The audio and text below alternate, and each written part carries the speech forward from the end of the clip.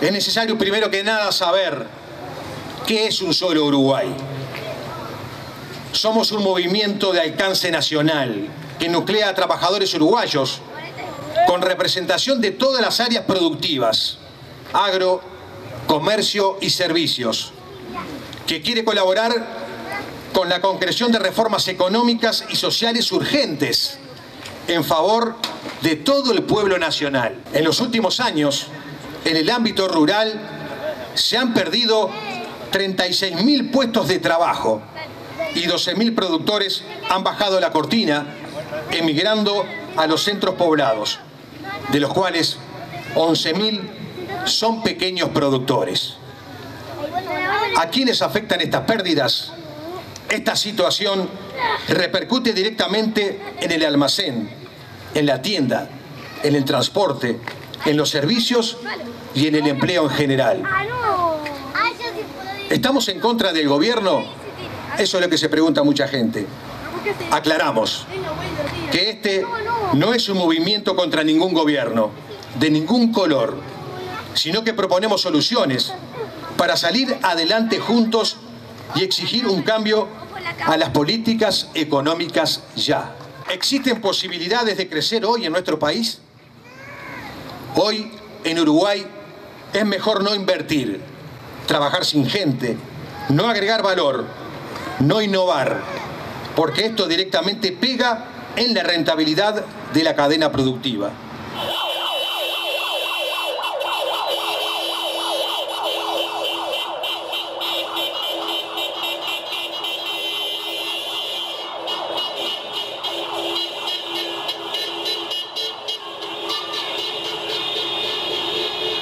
Vemos y consideramos que la cantidad de cargos de confianza son excesivos.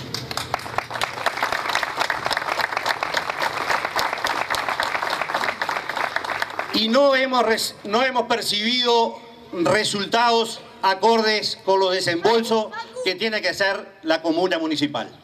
Solicitamos más gestión y no tanta difusión en la prensa a nivel nacional Pensamos que con informar al contribuyente floridense de las gestiones realizadas en el departamento ya es suficiente.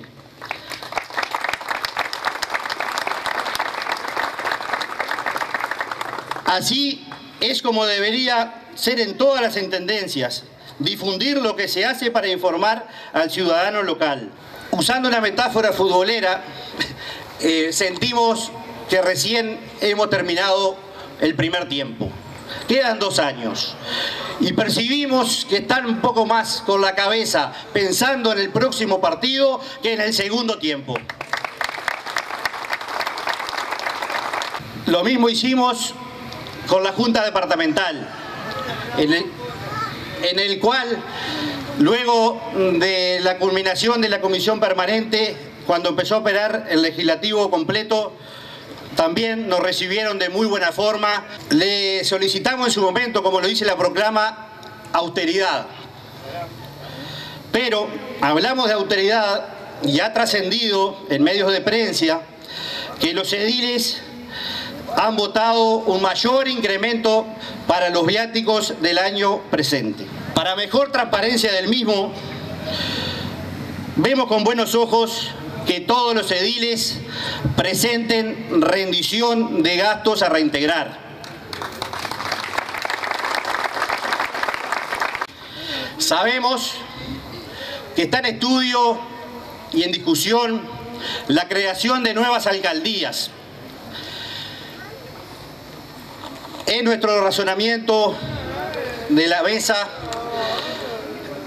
la consideramos en este momento totalmente inoportunas.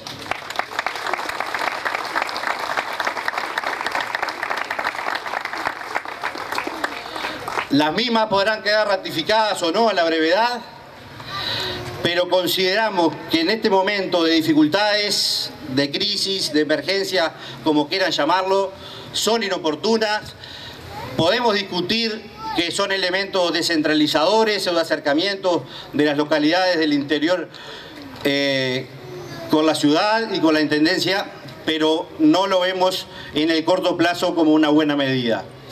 el costo de cada alcaldía anual asciende al entorno de los 500 mil dólares por cada uno.